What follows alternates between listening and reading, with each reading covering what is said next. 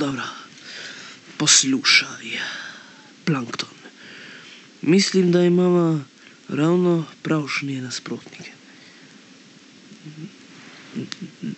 Jep.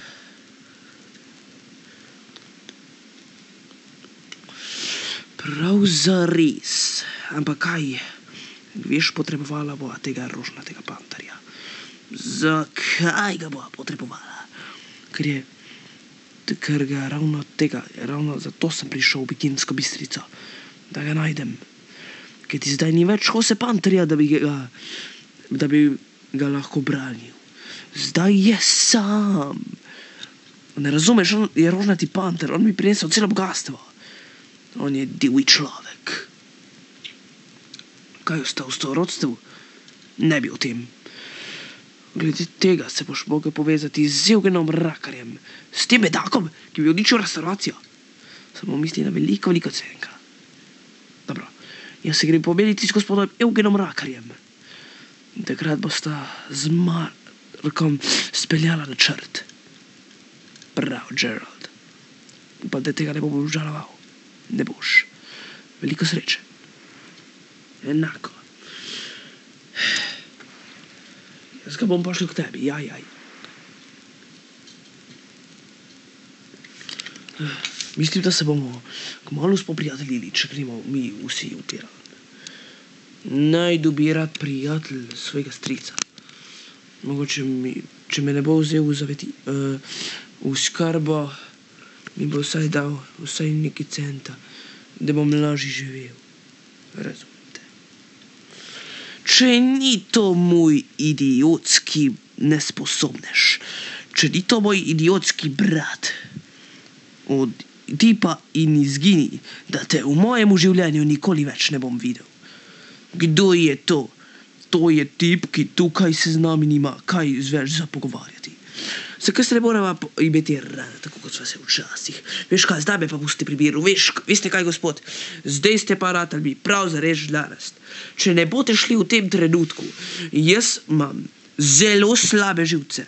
In ja, to je bila grožna. Zato ne nadlegujte gospoda pri miru. In če ga noče, in če vas to še videti, prosim, če ga ne nadlegujete. Zato mi boš še plačal ti rožnati kosmatinec. Ti mu ne boš grozil. In izgini, če ne bi rad, da se takšen boks, ki se je prej zgodil, še enkrat ponovil. Se ne bo. Sicam ga. Hvala, ker si daj obranil. In zakaj? One, njega pa nočem videti. Kaj zakaj? On naj bo dal v skrbo. Patrik, zelo mi je žal, za kar sem prej rekel. Naj te bo sram, stric. Vrgal si naj iz hiše. Kaj? On naj jo ne bo dal zaživeti spuži. Noče, da živiva pri njemu. Premislil sem si. Gotovil sem, da sem naredil veliko napako. In veš kaj, ti si navadni lažnivec in hinavec. Nikoli več v mojem lastnem življenju te nočem videti. Izgini. Ampak, veš kaj, šel boš z mano, pa če ti je všeč ali ne, vi mu ne boste grozili. Jaz sem ekstremno nevaren človek in takšni ljudje mi grejo na kozlaje. Oja, to se pa ti, da mi boš govoril, razviden je stric. Nočem se s tabo več pogovarjati. To boš še obžaloval. Ne bom. Tudi prav. Z Bogom. Z Bogom, stric. Hvala, ker si daj obranu. In zakaj? Zato pa so prijatelji. Vidim, da bomo zelo dobri prijatelji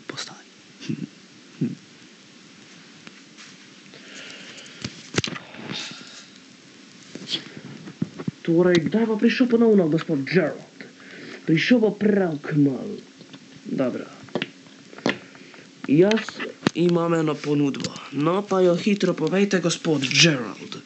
Jaz želim, da ujamemo rožnatega panterja. Zakaj pa tiste, zakaj pa kosmatinca? Zato, ker ta nam prinese lahko celo bogatstvo. Vreden je celo premoženje. Poznam ga, ker sem ga videl v plaži. Zelo je imeniten. Potem je to tisti, ki čaka na avtobusni postaji. Zakaj pa nisi nič rekel? Pred ni bil sploh pomemben. Poslušaj, dobro, Marko. Hočem, da vidva s planktonom ujameta, čakaj.